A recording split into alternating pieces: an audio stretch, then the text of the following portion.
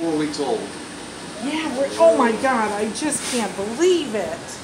Hi, I've you guys. Hi, come see me. All I did was like, Hi. any of them were Rottweilers because they don't have any of that color on them.